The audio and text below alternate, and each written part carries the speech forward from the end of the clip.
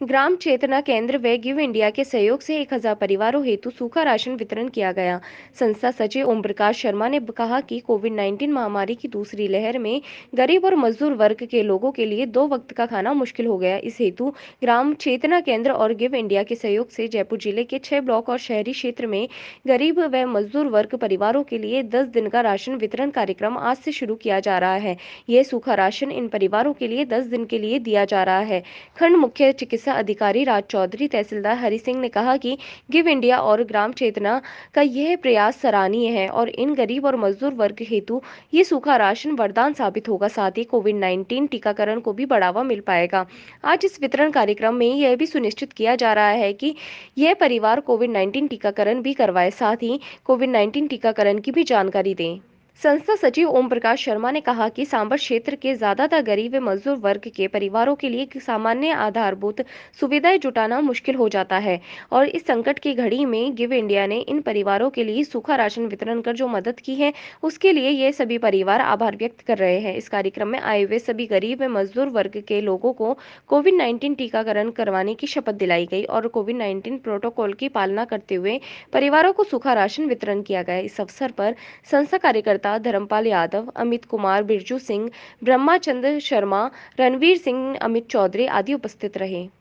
मैं मौजूद हूँ सांबर एसडीएम कार्यालय में, जहाँ पे ग्राम चेतना, खेड़ी से संस्था से गरीबों को खाद्य वस्तु वितरण के लिए ये गाड़ी को रवाना किया तहसीलदार हरि सिंह राव ने। मैं तहसीलदार साहब से रूबरू कराऊँगा ये आज खेड़ी जनता का क्या प्रोग्राम है।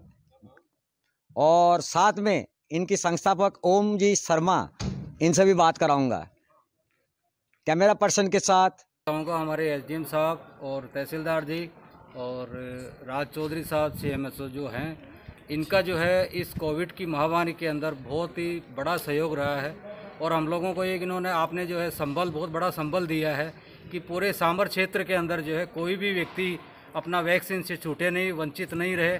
इसके लिए जो है प्रशासन और ग्राम चेतना केंद्र पिछले टाइम से जो है बहुत ज़्यादा सहयोग कर रही है। और साथ में हम लोग अब चाहेंगे कि कोई भी हमारे सांबर क्षेत्र का एक, एक कोई भी व्यक्ति जो है वैक्सीन से छूटे नहीं इसके लिए हमारा सघन अभियान है ग्राम चेतना की तरफ़ से। और हम लोग आभार व्यक्त करना चाह रहे हैं गिव इंडिया का। कि गिव इंडिया ने जो है ग्राम चेतना को इन बच्चों इन लोगों के लिए बहुत काफ़ी सहयोग दिया है और पत्रकारिता हाँ सर जी आज का ये ग्राम चेतना केंद्र का खेड़ी के क्या प्रोग्राम है?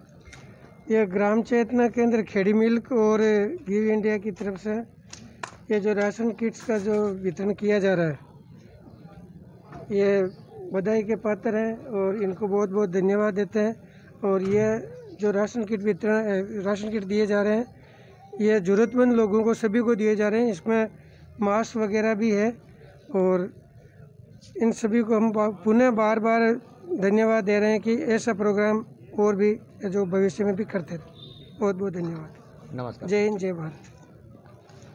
सर आप बताइए सर। सर मैं सब